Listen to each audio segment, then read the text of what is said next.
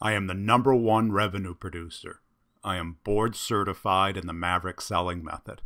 I've been awarded the top salesperson from seven different companies, and I never, ever lose a deal. So I ask you, when the CEO goes into that chapel and gets on his knees to pray, that they make their earnings estimates or that the board will not replace him, or maybe even the company will be forced to lay off people.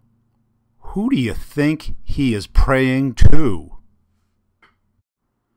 Now go ahead and read your Bible, Dennis. You can go to your church, and with any luck, you might win the annual raffle. But if you're looking for God, he was on the road closing deals December 31st, and he doesn't like to be second guessed. You ask me if I have a God complex? Let me tell you something. I am God. This sideshow is over.